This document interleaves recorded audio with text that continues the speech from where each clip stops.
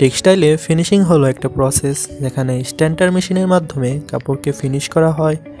আজকে আমরা জানতে চলেছি টেক্সটাইলে কাপড়কে কেন ফিনিশ করা হয় এবং কোন কোন কেমিক্যাল ইউজ করা হয় এখানে। সকল কেমিক্যালের নাম এবং তাদের কাজ কি কি? তো এখন আসুন টেক্সটাইলে কাপড়কে কেন ফিনিশ করা হয়। আফটার সিপিবি এবং সিপিএস ডাইংয়ের পর কাপড়কে ফিনিশ করা হয়। কাপড়কে সফট করার জন্য কাপড়ের সিঙ্কিস কন্ট্রোল করার জন্য শেড ইমপ্রুভ করার জন্য টেস্টিং প্যারামিটার ইমপ্রুভ করার জন্য কাপড়কে ফিনিশ করা হয়। যেমন টিয়ার টেনজেল সিম ইত্যাদি ইমপ্রুভ করা হয় এখান থেকে। উইথ জিএসএম কন্ট্রোল করা হয়। তো এখন আসুন ফিনিশিংয়ে কী কী কেমিক্যাল ইউজ করা হয় এবং এদের কাজ কী কী?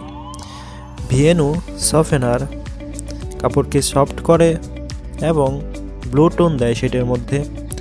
এডাব্লিউএস সফেনার কাপড়কে সফট করে এবং ইউলো টোন দেয় শেডের মধ্যে।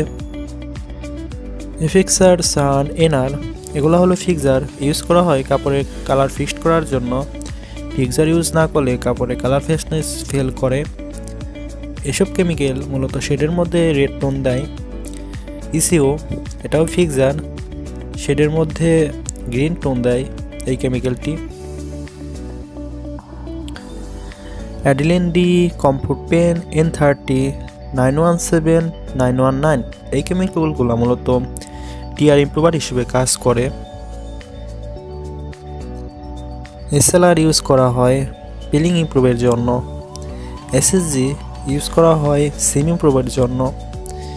বাইন্ডার ইউজ করা হয় টেনজাল ইম্প্রুভার হিসেবে এবং কাপড়কে হার্ড করার জন্য।